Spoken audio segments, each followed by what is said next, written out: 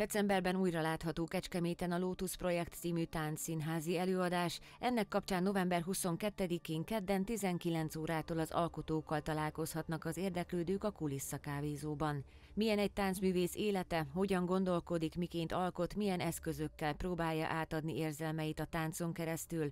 A Kecskemét City Balett művészeti vezetőjét Bartadóra rendező koreográfust, Katonka Zoltán koreográfus asszisztenst, illetve világítástervezőt, valamint szőlő Ősi Krisztina és Nagy Nikolett táncművészeket Tóth Kata dramaturg kérdezi az alkotás élményéről és a táncművészet varázslatos világáról. A közönség találkozóra regisztrálni a kulissza kukac kecskeméti nemzeti.hu e-mail címen lehet. A belépés díjtalan.